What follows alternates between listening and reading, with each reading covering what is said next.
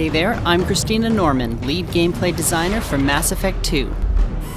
Mass Effect 2 is an incredible new shooter RPG featuring intense combat and incredible customization.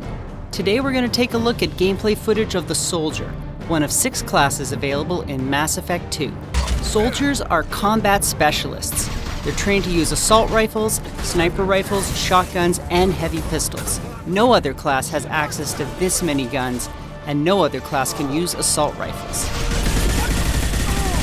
Soldiers are also the only class trained to use all special ammo types. Incendiary ammo, which sets enemies on fire.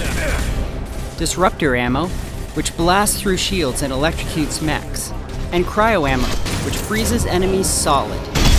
With so many guns and so many ammo types, soldiers can handle any situation and any enemy. But they have more than guns at their disposal.